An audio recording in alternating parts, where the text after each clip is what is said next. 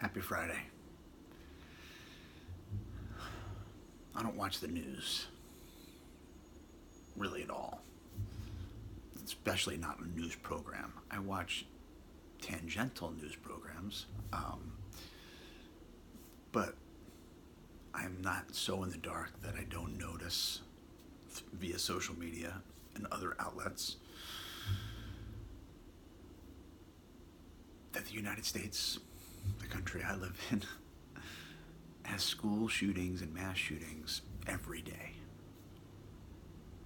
And it's nothing new. When are we, as a country, going to start to value someone's breath, their life, their physical conscious experience on this plane more than someone's right to own a possession. I mean, that's the simple question. When's that more important?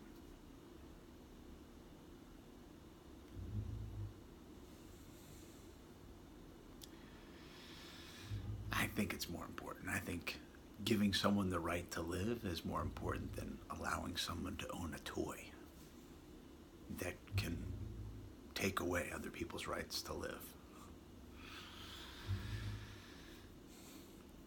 I think if, in a perfect world, people should be able to own whatever they want, but people that own whatever they want are not responsible to own whatever they want because there's other problems. Now, we could address that problem, but we won't even address that problem in this country, as evolved as we like to think we are, and as educated and this superpower, whatever. It's ridiculous.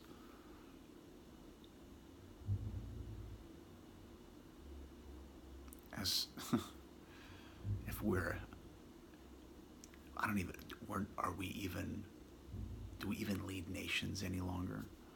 Look at our uh, governing bodies. Hypocrisy at its best. We a crumbling empire? seems like it. We don't even value our citizens. We don't even value the rights of children over the right to own a weapon.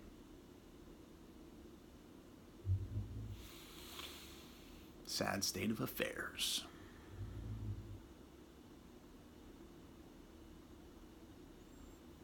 Yeah. I don't know. Happy Friday. That's what's on my mind. Big light. Much love. Peace.